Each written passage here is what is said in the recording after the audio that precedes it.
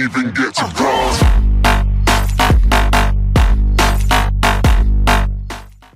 Hey, what's up, YouTube? This is Engineer Gaming, and welcome back to our Rainbow Six Siege Operator Guides. In this guide, we're going to be going over Castle, and again, we'll cover the loadout that we like to run, and then we'll get into the actual tips. For Castle, we run the UMP-45 as as his primary, and the M45 pistol for the secondary, and then his gadget is barbed wire. First thing you should look for to use your castle barricades are on the windows in the objective room. It'll prevent them from just poking a little hole and trying to shoot at you, or have like a Glaz try and snipe at you from a distance. They'll actually have to walk up and breach through it, and that'll make it a little bit easier for you to fight back through that.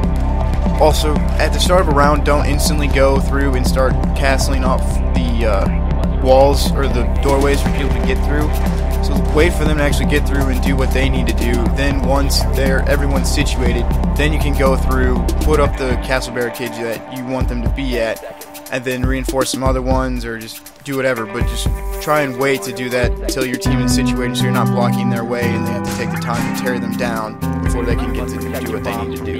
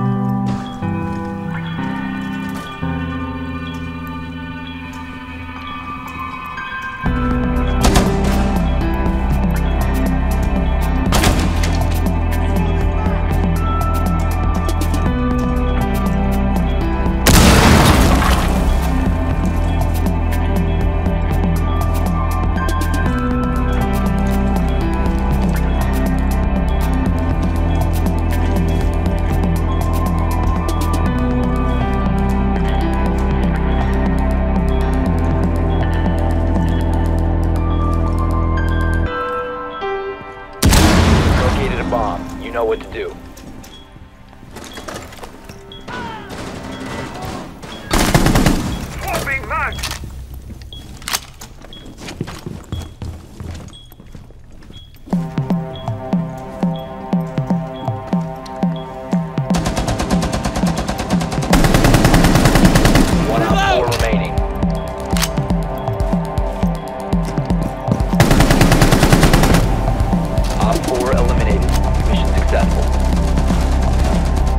Alright, that wraps up our guide on Castle. Let us know in the comments below what you guys thought or if you have anything else to add.